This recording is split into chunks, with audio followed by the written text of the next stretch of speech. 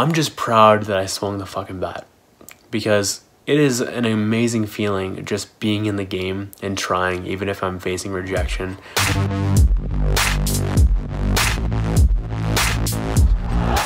May 17th, 2019, and today has been an interesting day.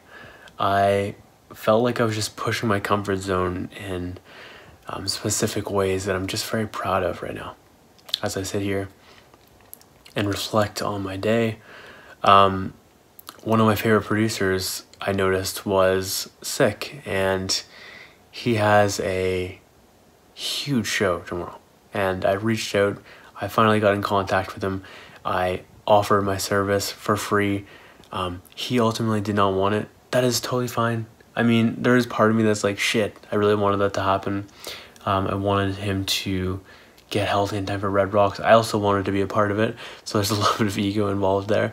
Uh, yeah. But what I'm proud of is that I swung the fucking bat. And despite despite the quote unquote miss, if you will, of the bat, or the, the miss of the ball, and uh, a quote unquote strikeout, if you will, in the way that I could measure that, I'm just proud that I swung the fucking bat. Because it is an amazing feeling just being in the game and trying, even if I'm facing rejection. For me, I have a long standing pattern of rejection and loss and stuff like that, meaning I am terrified of it at times in certain ways, especially especially when other people are involved. So today just grew me a lot knowing that guess what? It's not that fucking bad if you swing the bat and miss. Life goes on. You feel fucking good for just being in the game and if people laugh at you for being in the game and missing, um, just remind them, or you don't need to remind them, or you could if you'd like, but remind yourself that you're in the game, you're making shit happen. Maybe not as fast as you would like at times, but you are at least swinging the fucking bat.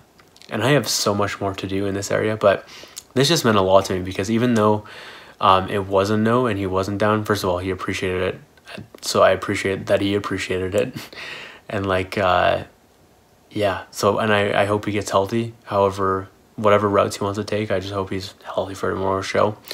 And this is not for everyone, so I had to remember that.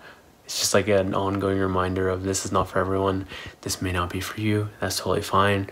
And my ongoing journey of accepting that because I can I can get attached at times to that, but yeah, this just again, just being in the fucking game feels so right. And where I was about to go with that was it means a lot because I've been so scared to reach out to this guy, this dude. I uh, I had another uh, another opportunity, actually multiple opportunities before, where I'd see certain things and I'd be like, okay, um, these types of tweets tell me that he could use some energetic work in this department, but uh, if he's not open to it, he's not open to it, and that's okay. And I had to remember this and just be okay with that and completely detach from the results and uh, maybe he will come around eventually maybe not and that's completely okay but again just get in the fucking game swing the bats and you're gonna feel incredible um, that thing that scares you which scared me and i was fucking paralyzed of doing anything for the longest time but i feel like i grew enough today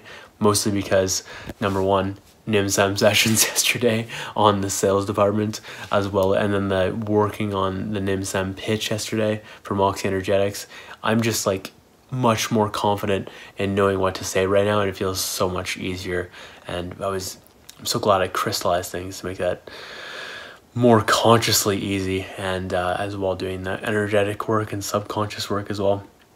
But yeah, I'm so glad I'm growing. I'm so glad, so glad I am putting myself in the game even though I'm fucking scared as shit, but uh, equally excited and ready to make some impact, ready to help people get results and a bunch of other good shit. It's worth, it's later on right now, and I just wanted to highlight the fact that I already want to jump back in my comfort zone, but if I stay there, I'm not going to get the growth, I'm not going to get the goals and I'm not going to achieve the type of things I'm looking to, achieve in my comfort zone.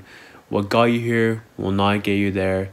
Everything you want is just outside of your comfort zone. These types of things are fucking crucial to remember. And uh, I've just got to get, I've just got to learn to love no's more, really, is I think my, one of the big takeaways for me right here.